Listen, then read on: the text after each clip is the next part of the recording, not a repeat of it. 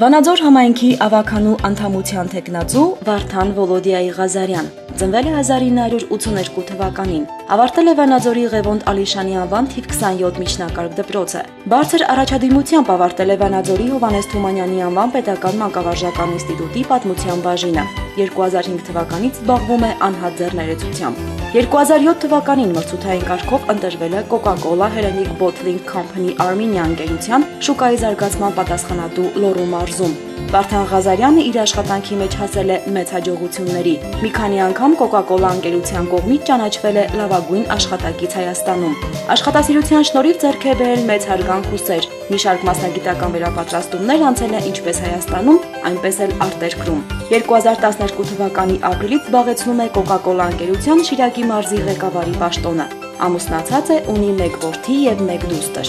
Առաջադրվելով Վանաձոր համայնքի ավականու տեխնացու իմ ընտրողներին տեղեկացնում եմ, որ որևէ կուսակցության անդամ կամ քաղաքական հոսանքի հետևորդ չեմ հանդիսանում։ Կարևորում եմ Վանաձոր համայնքի ավականու գործունեության հնարավորությունների օգտագործումը ի նպաստ քաղաքացիական ակտիվության։ Կարևորում եմ հանրային նշանակության հարցերի բարձրացման եւ քննարկումների միջոցով ավականիների նիստերում որոշումների ընդունմանը։ Վարդան Վոլոդիայի Ղազարյան Ժողովրդի վստահությունը մեր ուժն է։